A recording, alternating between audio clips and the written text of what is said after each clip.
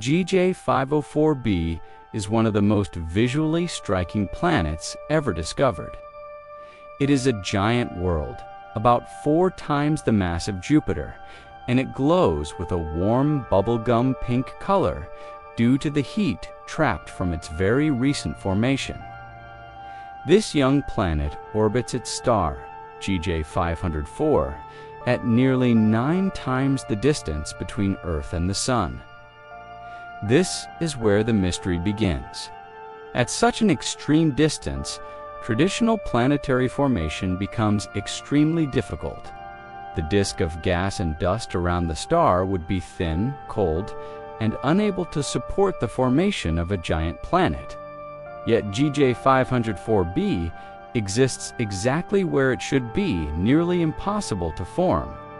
Scientists believe this planet may have formed through a rapid collapse in the disk, a process known as gravitational instability. Or it may have formed closer to the star and migrated outward in a complex gravitational dance. Either explanation challenges long-standing models and forces astronomers to rethink how planets grow in young systems. GJ 504b is more than a beautiful pink world.